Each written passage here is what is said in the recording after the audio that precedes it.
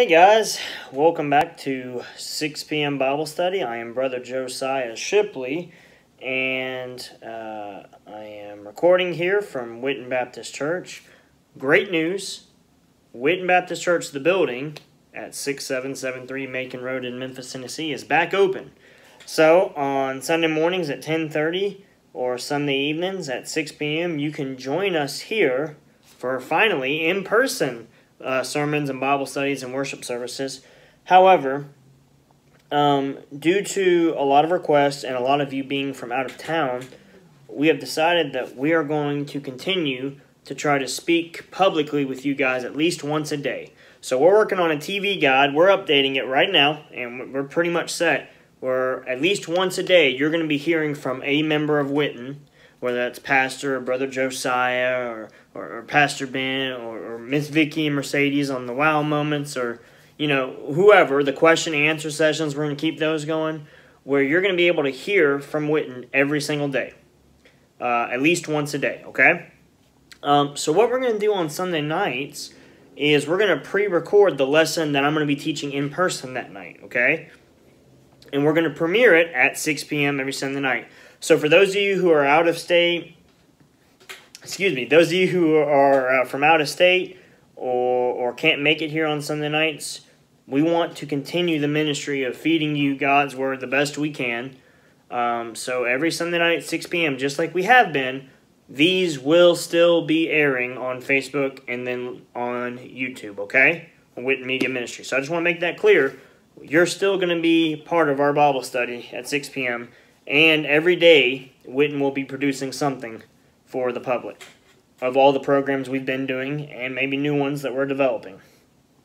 So, with that being said, um, for those of you, oh, and feel free to still comment even though it's pre recorded because the next day I'll get on there and I'll try to apply to every comment as I can to the best of my ability. So, for those of you who've been with us the past five or six weeks, we went through Romans chapter 8 we have now finished the book of Philippians. We went through the entire book of Philippians. And go back to the YouTube page, Whitten Media Ministry. Go to Sunday nights with uh, Brother Josiah Shipley, and you can rewatch all those, guys. All those uh, lessons on Philippians we did, you can rewatch all of them. We went verse by verse. Well, now we're switching gears, and we're going to do Isaiah chapter 53. Isaiah chapter 53. And if you have never read or studied this chapter, it is in my view, one of the most glorious, greatest chapters in the Bible. I've told y'all before, my favorite chapter in the Bible is Romans chapter 8. Now, it's all God's Word, and I love it all. But Isaiah 53 is a close second. It's pretty awesome. So, we've got a lot to do here. But before we do, we've got a lot of groundwork to set for the book of Isaiah. So, let me start by setting the groundwork for the book of Isaiah, and we'll take our time with that, and then we'll get into the text, okay? Now, I've got a lot of passages we got to go through tonight, okay? So, as I go through them, the best thing you can do, write down the Bible reference and go back and read them later for yourself. Remember, what I say is not important. What God's Word says is paramount, okay? All right, so a little bit about the book of Isaiah. Um, hey, Brother Andrew a little bit about the book of Isaiah. Uh, it is a prophetic book, meaning it was written by a prophet, uh, in this case Isaiah. And when a prophecy is simply God giving a specific message to a specific person to deliver to a specific people at a specific time. Okay? For example, God gave a specific message, the message of repentance, to a specific person, Jonah, to give to a specific people, the people of Nineveh, at a specific time. Now, now Jonah tried to do his own thing, but the will of the Lord ended up happening. And those of you who are believers know exactly what I'm talking about. You can resist, but God will get his way, whether it's the hard way or the easy way, won't he? We can be hard headed, but the Lord has a way of uh, melting that heart of stone, doesn't he? Well, uh, oftentimes, that prophetic message is showing something that will happen in the future. So when we speak of messianic prophecies, break it down messianic, Messiah, Jesus prophecies, these are prophecies about Jesus, okay? Well, funny thing is, the book of Isaiah was written about 700 years before Jesus was born. Let me say that again. The book of Isaiah was compiled, was written over a span of, man, it was probably written over a span of 70, 60 years or so. Isaiah lived to be, you know, probably 100. Um, but anyway, uh, the book of Isaiah was written 700 years before Jesus. Um, you know, you look at the Dead Sea Scrolls, the Isaiah scroll, the Great Isaiah scroll. It's it is the oldest complete copy of Isaiah that we have. Uh, you know, and it's been carbon dated uh, to precede the death of Jesus uh, by a lot. And we know that that is a copy of a copy of a copy of a copy of a copy. We know that's not the original scroll that Isaiah wrote down on. So if that scroll is that old, how much more the original when it was written? But at any rate, um, we've got some messianic prophecies about Jesus, and some of them are about his birth and his growing up, which we'll read in just a minute. Others are about the crucifixion, and I included Psalm 22 here. If you want to read two prophecies about the crucifixion, centuries before they ever happened, or almost a millennia, read uh, Psalm 22 and Isaiah 53. It's just like a wow. But at any rate, that's what we have here. Now, guys, we've got a lot to to cover, but I just want to show you a few things in the book of Isaiah to help set the scene so you know what this book is about, okay? People often call the book of Isaiah a Bible within a Bible. Well, it's 66 chapters. You know, of course, the chapters weren't originally in there. We added those in there later, which we'll talk about late uh, in a minute. But it's 66 chapters. There's 66 books of the Bible. And it's so large, but it covers a wide range of things. The first 40 chapters, roughly, deal with God's judgment um, and the need for repentance. And the last 26 or so chapters deal with um, liberation, with salvation, with, with God uh, saving his people. So it is kind of a nice picture of the Bible. At any rate, um, let me just show you a few examples in the book of Isaiah of prophecies coming to be fulfilled or things you need to know about Isaiah. Okay, so first off, let's read a couple of these, and, and you probably will be familiar with these. But these are um, messianic prophecies dealing with Jesus and particularly at his birth. So Isaiah 7:14 says this. Isaiah chapter 7 verse 14. Therefore the Lord himself will give you a sign Behold, the virgin shall conceive and bear a son, and his name shall be Emmanuel. Okay, this is quoted in the Gospels, and of course, Emmanuel means God with us. Okay, notice the name of Jesus is Emmanuel, not God sent somebody to us. Emmanuel means God with us. Okay, we uh, had a really awesome question and answer session two Saturdays ago, I think it was, about the triune nature of God, often called the Trinity. Go check that out at Whitten Media Ministry if you haven't yet. Question and answer session, triune nature. It's a pretty good one. Also, Isaiah 9 6 says this For to us a child is born, to us a son is given. Now keep in mind, this is 700 years before Jesus was ever born. The government shall be on his shoulder, and his name shall be called Wonderful Counselor, Mighty God, Everlasting Father, Prince of peace. Of the increase of his government of the peace there shall be no end, on the throne of David and over his kingdom to establish it and uphold it. Okay. And this is a messianic prophecy, of course. Unto us a child is born, unto us a son is given, and this is uh, referenced in Luke. His name shall be. What is the name of Jesus? Wonderful Counselor. Josiah, I thought the Holy Spirit was the counselor. Exactly. Jesus, Holy Spirit, Father are all God. He's called Mighty God. Can you get more clear than that? He's called Everlasting Father. Now, Josiah, why would Jesus be prophesied as Everlasting Father? Because Jesus said, I and the Father are one. You see, the Father, the Son, and the Holy Spirit. God the Father, God the Son, and God the Holy Spirit, all one God named Yahweh, Jehovah. Um, so, guys, Prince of Peace. And we'll read about that in Isaiah 53. What we have is prophecies about Jesus well before they ever happened, establishing who he is. Um, one more. Let's go to John chapter 12. Let's go to John chapter 12.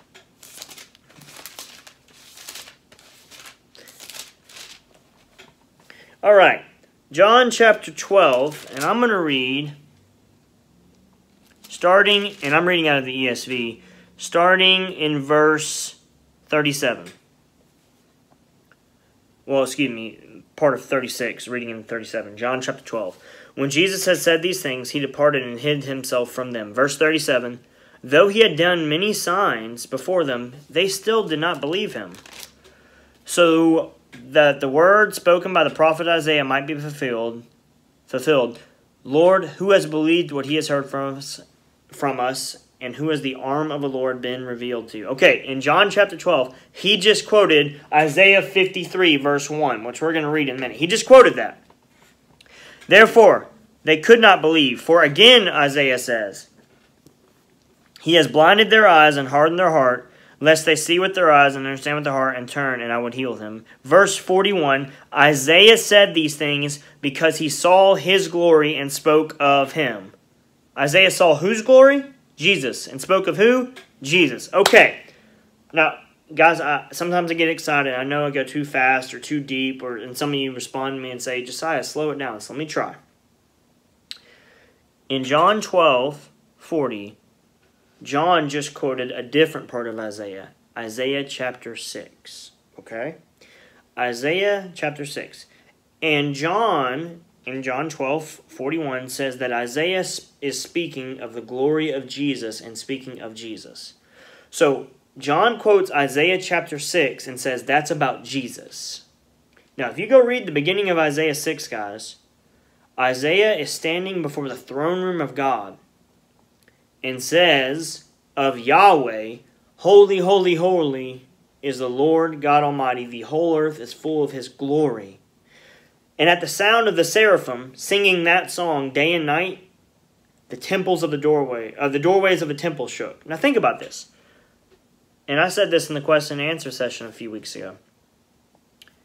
The seraphim are created beings created to do nothing but sing praises to God 24 7. And at the sound of their voices, not even God's voice, the sound of their voices, the temple doorway shook. How much more God's voice? Well, Isaiah 6 is speaking of Yahweh. And yet here, in John 12 41, John is saying that Isaiah was speaking of Jesus. Why? Because the Father and Jesus are one. Jesus is God. Let me just make it as clear as I can say it. Jesus is God. Okay? All right, so that is a little bit about the book of Isaiah. Okay? So, now that we're 13 minutes in, let's get to our actual text. So I want you to go to Isaiah 53, but I want you to notice something.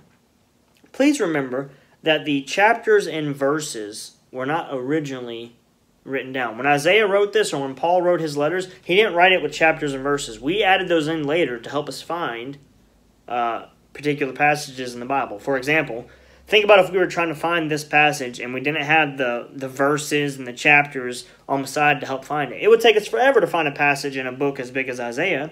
So I'm glad they're in there because they help us, but we need to remember that Isaiah didn't write this to be broken up by chapters.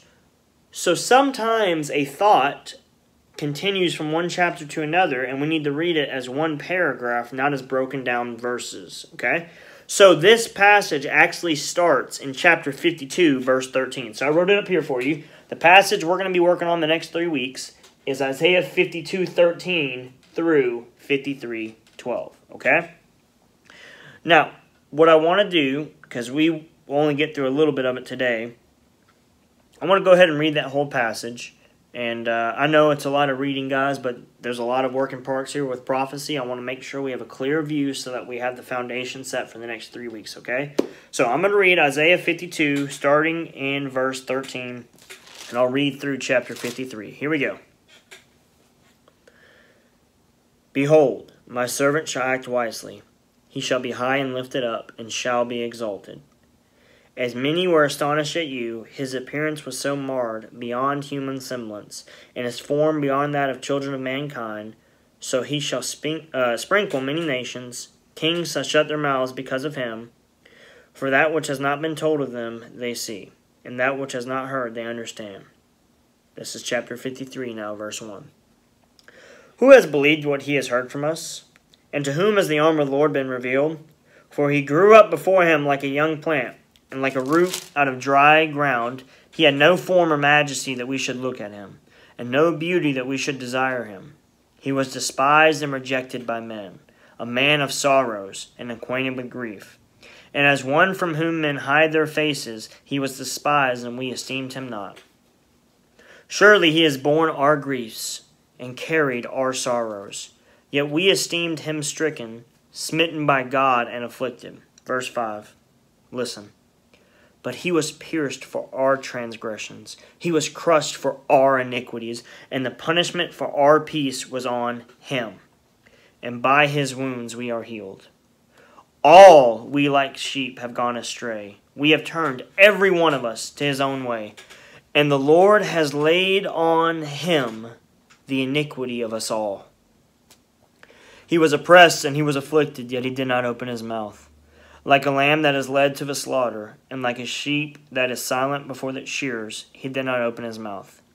By oppression and judgment he was taken away. And as for his generation, who considered that he was cut off out of the land of the living and stricken for the transgression of my people. Verse 9. Here's some prophecy.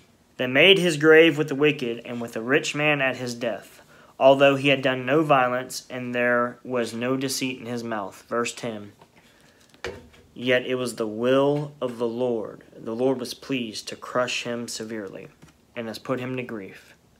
When his soul makes an offering for guilt, he shall see his offspring, and shall prolong his days, and the will of the Lord shall prosper in his hand. Out of the anguish of his soul he shall see and be satisfied, and by his knowledge shall the righteous one, my servant, make many be accounted righteous, and he shall bear their iniquities. Verse 12 Therefore I will divide him a portion with the many, and he shall divide the spoil with the strong, because he poured out his soul to death and was numbered with the transgressors. Yet he bore the sin of many and makes intercession for the transgressors. Wow. So much to go, so much to dive into the next three weeks. So let's get started with verse 13 of chapter 52. We'll get through a couple verses today and we'll uh, cut it short because it's a lot to consider so far. So, Isaiah 52, verse 13. All right, Josiah, you're saying this is about Jesus, and I see all the prophecy, and I see I see about the crucifixion, I see about him being pierced. But how do you know for sure that this is about Jesus? Well, in the New Testament, John, Paul, Peter, Luke, they all quote this and say it was about Jesus.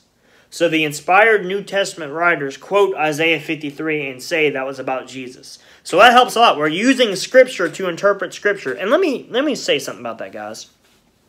Use scripture to interpret scripture. What do I mean by that?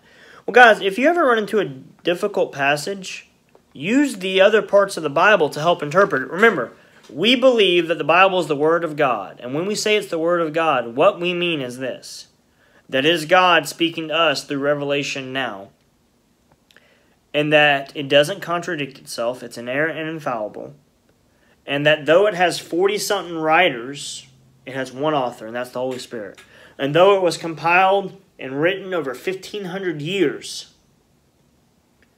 it all says the same thing because it has the same author, the Holy Spirit.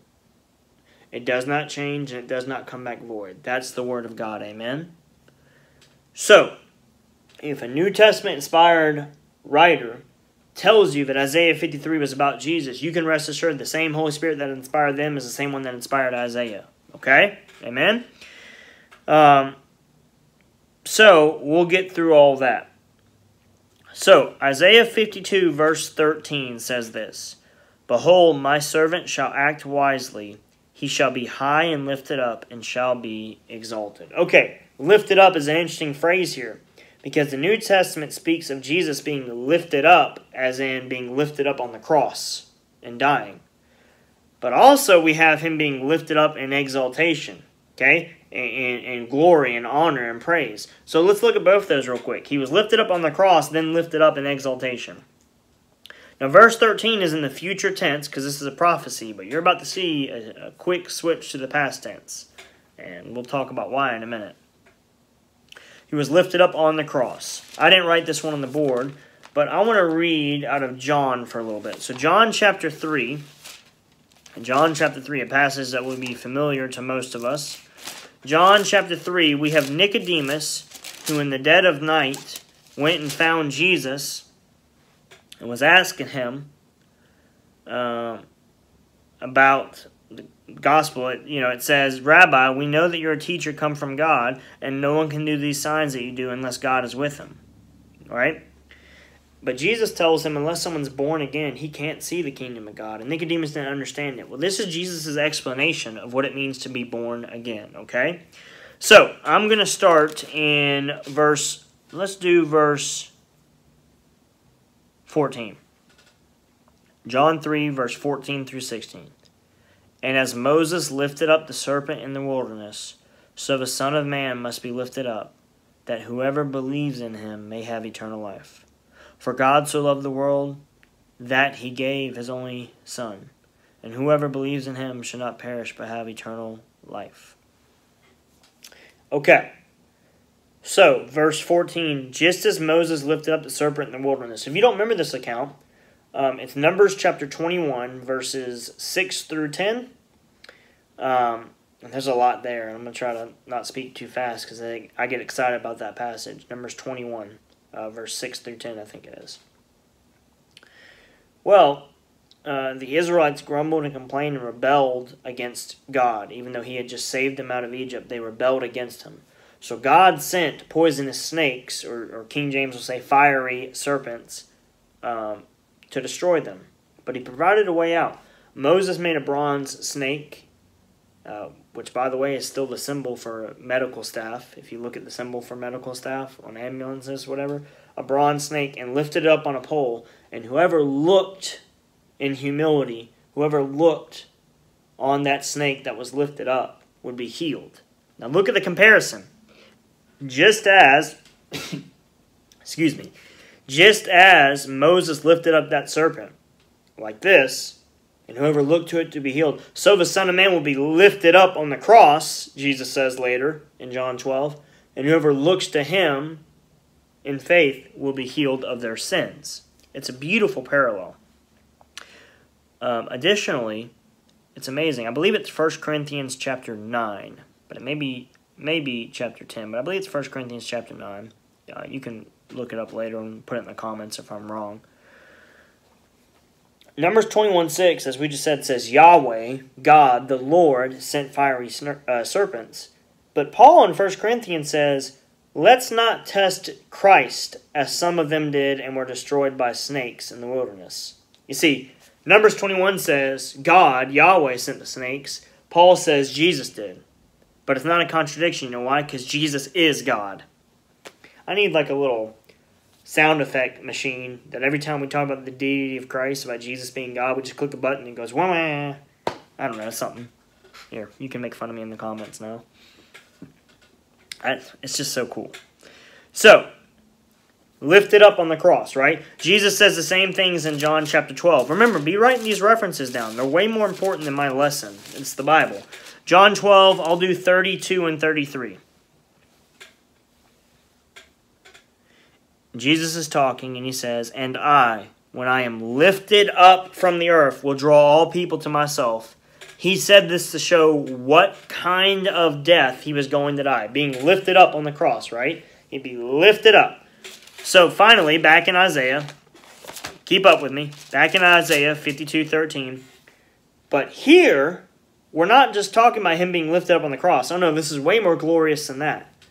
Behold, my servant shall act wisely, and shall be high and lifted up, and shall be exalted. Here he'll be lifted up in exaltation. I've got more verses here, guys. Keep them going. If you've been with us the past few weeks in Philippians, you'll remember Philippians chapter 2, verse 9. Um, I'll start in verse 5. Make your own attitude that of Christ Jesus, who existing in the form of God, morphe theon, did not consider equality with God as something to be used for his own advantage. Instead, he emptied himself by assuming the form of a slave and taking on the likeness of men. And when he came as a man in his external form, he humbled himself by becoming obedient to the point of death, even death on the cross.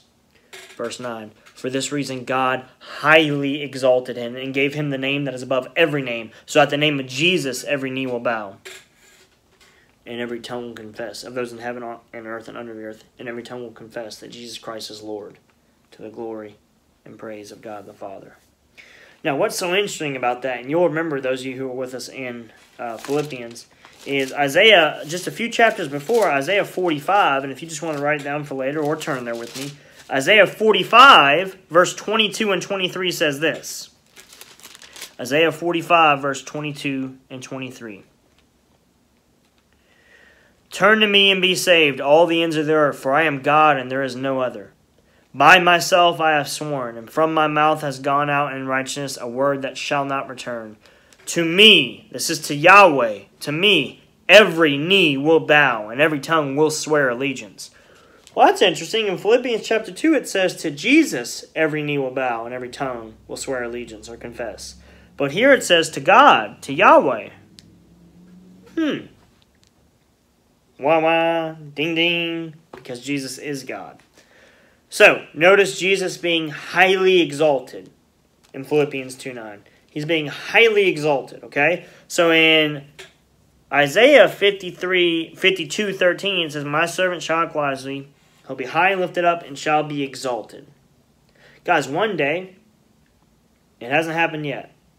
And those of us, you know, we live in the world, we know that he, this has not happened yet, but one day every knee will bow. Of those that are already in heaven, those that are still on the earth, and those that are already in hell, every knee will bow, and every tongue will swear allegiance and confess that Jesus Christ is Lord kurios, to the glory and praise of God the Father.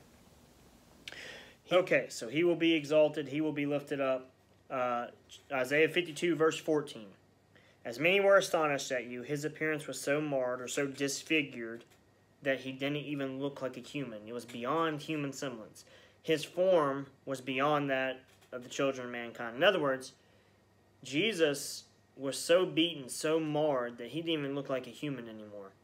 Now, uh, this next part is going to get pretty graphic, but it is what's in Scripture, so parents just be aware this next part is kind of violent.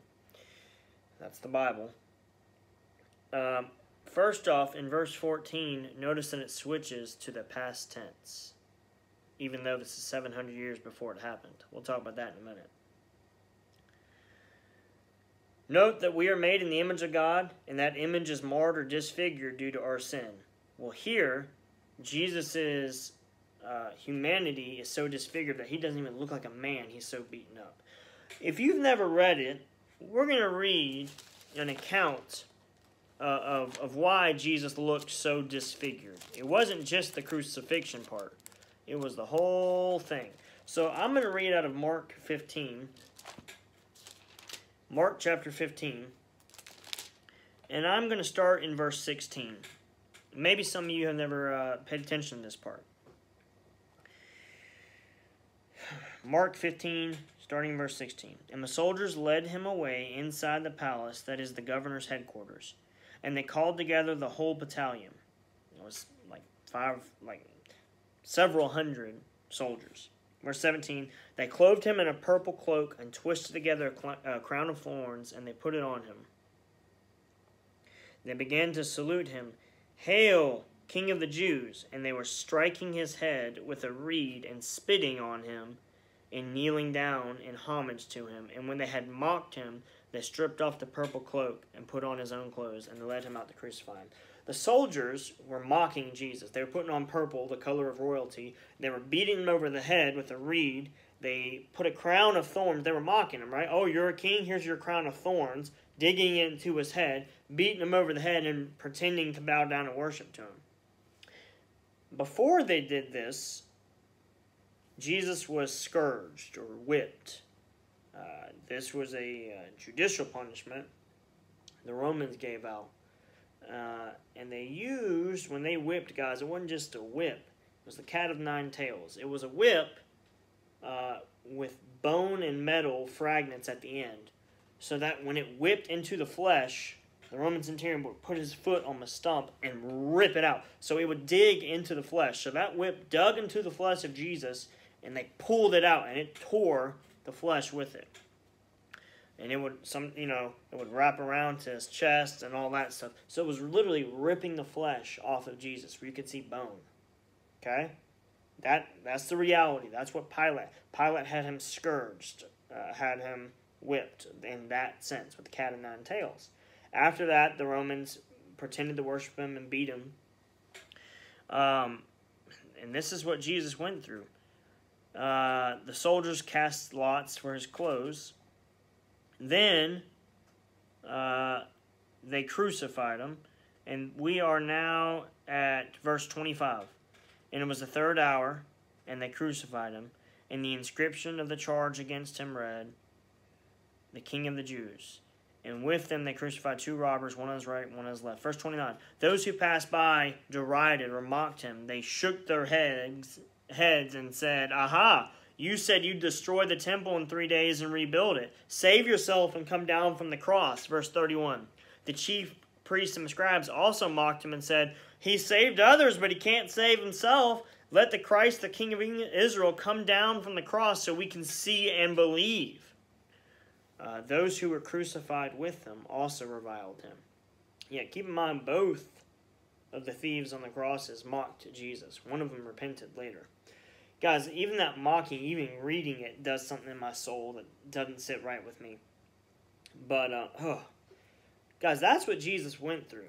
So he was whipped, he was torn flesh from him, he was beaten, uh, the guards beat him, the Roman centurions beat him, crown of thorns, all that before he was crucified.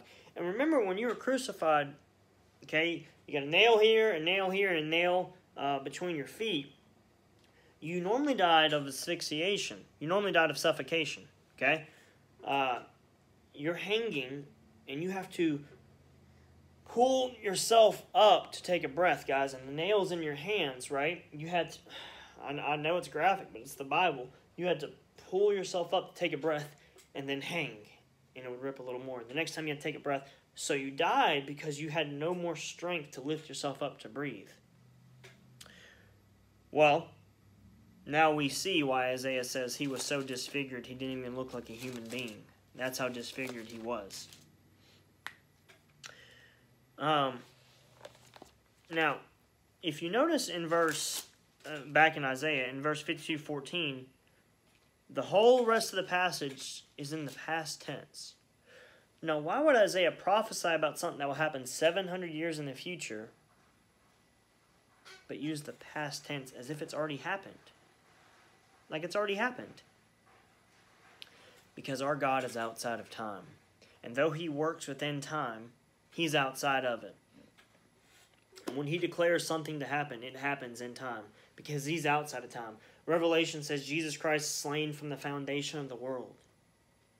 Okay? Remember, God wasn't surprised with Adam and Eve. God's plan will take place. Uh, an example of this is Acts chapter uh, 4, I'll read just a short passage. Acts chapter 4, verse 26 through 28. Acts chapter 4, verse 26 through 28. And it says this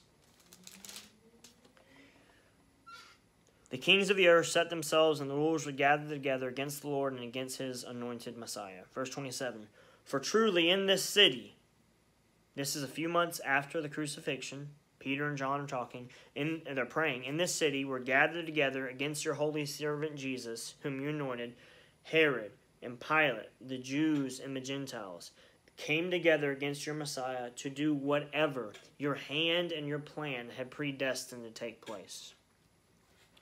In this city, Herod, Pilate, the Jews and the Gentiles, the Roman soldiers, came together against your Messiah Jesus to do whatever your hand and your plan had predestined to take place. Guys, why can Isaiah chapter 52 and 53 speak of the crucifixion in the past tense? Because in the mind of God, it had already happened. Herod and Pilate, the Jews and the Gentiles, did whatever they wanted to do. They were not controlled. But it was all according to God's predestined plan. Okay? All according to God's predestined plan. Just like Genesis 50 20, they planned it for evil, but God planned it for good. For good. So, it's all in the past tense because in the mind of God it's already happened. Just like our salvation. Um, and let's see. Let's do one more, verse 15. So, from that bloodshed, from that gore, so he shall sprinkle many nations. Kings shall shut their mouths because of him. And uh, for that which has not been told them they see, and that which they have not heard they understand. He shall sprinkle many nations, or many nations uh, shall be blessed by him. He shall sprinkle many nations. Verse 15. Sprinkle, to make pure with blood. Guys, in Levitical law, uh, the priest would sprinkle blood on the altar and on the utensils to purify it, to make it holy. Okay? Well, Jesus' blood, notice, by sprinkling it on many nations, not just Jews, but Gentiles too, be sprinkled on many nations. Uh, Hebrews 9.22 says, So according to the law, well, I'll just quote it, according to the law, almost everything is purified by blood, and without the shedding of blood, there is no forgiveness. So through Jesus' blood being shed and sprinkled, by the blood of Jesus, we have been purified, we have been justified, that is rendered innocent. We have been declared righteous, and we have been set apart as holy. We're going to get more into that next week with imputation. But we're going to leave off right there. So that was 52, verse 13, 14, and 15. And what we're about to read next week in Isaiah 53, it's all, for the most part, all going to be in the past tense, talking about the crucifixion uh, and how God's plan will prevail. All right? Okay, guys. Um, sorry if I seemed a little uh, scattered, but I was getting it all together. Go back and listen to and read the references that I gave here. Okay? Read Isaiah 53 for next week. We're going to be on this for a couple weeks, okay? And this is important stuff. And uh, put in the comments. I'm going to respond to every one of them I can, and we'll keep building off it. Anything that wasn't clear or any questions you have, put them on the comments. I'll read through them uh, probably tomorrow, okay? Happy Sunday to all of you. I love you all very much. We're going to keep this going. We're going to keep this going. Every week, 6 p.m. on Sunday, I'll have this here for you guys, okay? Um, Isaiah 53 is where we're at. Whitten Media Ministry, Whitten Media Ministry on YouTube. You can find all of our old videos if you've been missing the past few weeks, okay?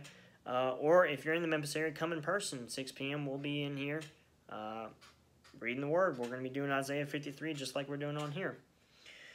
Um, tomorrow, Monday, I think it's at 10 a.m. Be sure to join in live for Pastor Ben's timeout session Monday morning at 10 a.m. And then I believe Pastor Jeff will be Tuesday night. Okay, so we're going to continue bringing the word, bringing the message from somebody different every day. I love you all very much. God bless, and uh, get in His Word.